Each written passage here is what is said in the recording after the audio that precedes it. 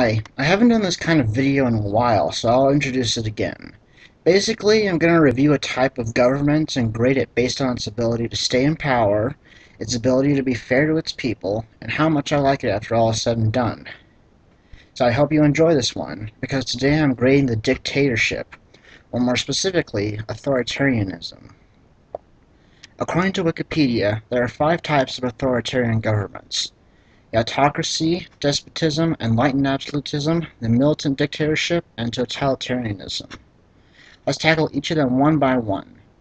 The autocracy is the most hated dictatorship, wherein one person has unlimited political power.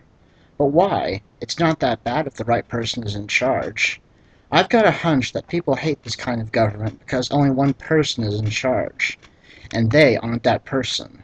We all want to be kings and queens of something and having unlimited power over our fellow man is a real confidence booster. In my experience, the most motivating reason to pursue power is to have the ability to fulfill our goals.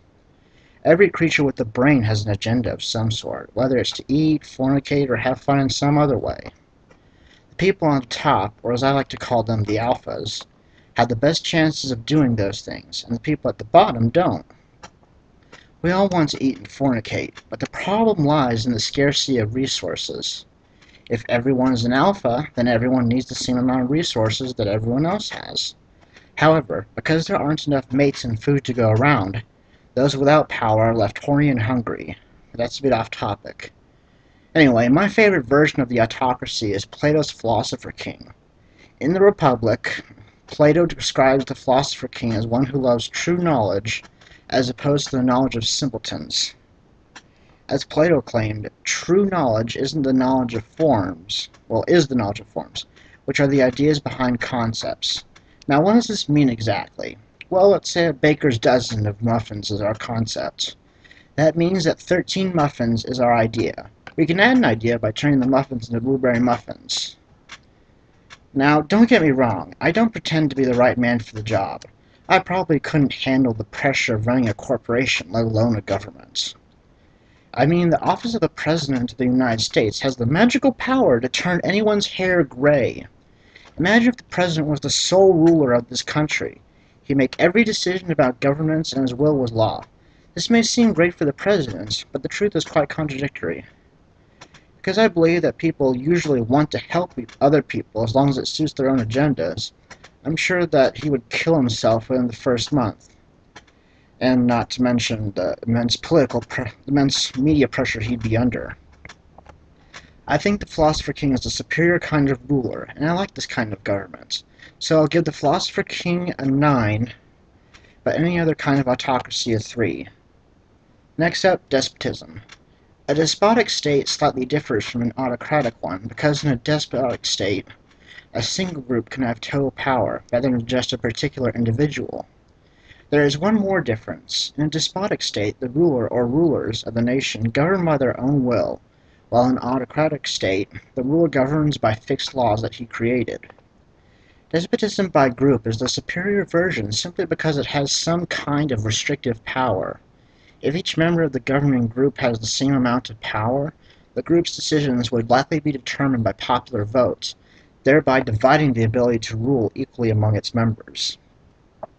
On the other hand, despotism by individual is much worse than group despotism and the autocracy because of the problems with absolute power. One, just about everyone wants to have absolute power over others, or at least themselves. So the despot is likely to be overthrown by the people, which cripples or destroys the nation's government. Two, the despot will be under even more pressure, pressure and stress than the autocrat, because he would likely want to appease the masses of dumbasses under his in his domain. And even though he has the power to change things to suit the population's desires, the population's desires can change quite frequently. So if he doesn't cater to the population's whims every now and then, they would probably revolt. This version of you blow me and I blow you is called enlightened absolutism. So, how's this government fare? If a group is in charge, it gets a 4. If one person is, it gets a 2. The reason despotism didn't score above 5 is because it eliminates a set code of laws and replaces it with a number of people's wills. What is legal today could be illegal tomorrow, and that is a serious problem. The idea of enlightened absolutism came about during the Enlightenment in an attempt to defend despotism. In enlightened absolutism, or an enlightened absolutist government, the despot holds the nation in a relatively loose grip. The despot would do this in order to maintain his status as ruler with less fear of rebellion. Anyway, anyway, that's all I have to say about it, really. I'll give the enlightened despotism a generous three. No one is happy all the time, or even most of the time. The ruler feels the fear that Damocles felt, and the people are essentially mud under the despot's heels. Now, the militant dictatorship is the most likely result of a revolution. During this phase of governance, the military governs the people. I absolutely hate this kind of government. Our police force is already militarized.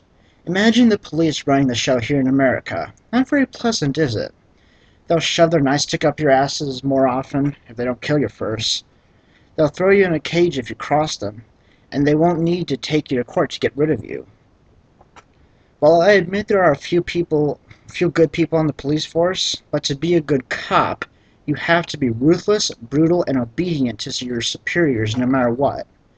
Every police officer works for the government that employs them. The police are not your friends. If they sus don't suspect you of doing something illegal, they ignore you completely. If they do suspect you of doing something illegal, they will do everything they can to stop you from doing it. When they're doing this, they only follow proper protocol when they know they're being watched by a camera that they don't control. The average citizen's testimony is absolutely useless against the cops. I'm digressing. The point is, the military dictatorship is a horrible idea. I'll give the military, I'll give it a two. It ignores individuals' rights, it ignores majorities' rights, and it gives a violent group unlimited political power. However, there is one good thing about the system. It ensures stability, but because it does this by fucking civilians in the ass with its big, mighty cock, it doesn't deserve any more than a 2. Last on the agenda is totalitarianism, wherein the state controls every aspect of public and private life. If you take a shit in a totalitarian's toilet, you could be fined for pollution. If you wipe your ass afterwards, the state could send Officer Friendly to make sure you don't flush. And if you do, the dickhead will be authorized to fuck your shit up. But enough about what a totalitarian state can do to you. Let's look at why and how they can get away with it. Dictators of every stripe have told us that the only way to protect our freedoms is to limit them. And that state sentiment is the backbone of totalitarianism. The state most often uses propaganda to wash its hands of the blood, sweat, and tears of its citizens. It uses the mass media to distract, delude, and divide the population, so the rulers of the nation can get away with horrible crimes against humanity. Totalitarian dictatorships are best for the elite and worse for the common man. Thanks to this, totalitarianism receives a 1. Historically, the dictatorship has been extremely brutal towards the masses, and if it didn't have the ability to stay in power, it would receive a 0. Now, you may be wondering why the militant dictatorship did better than totalitarianism, since both of them are so similar. Well, it's for two reasons. First, militaries are often longer lasting than governments themselves. They just change forms. Second, while military authority can only control your body, totalitarian governments can control both your body and your mind. And that's it. Overall, I give the dictatorship a five and a half. It often sucks, but when it works, it really works.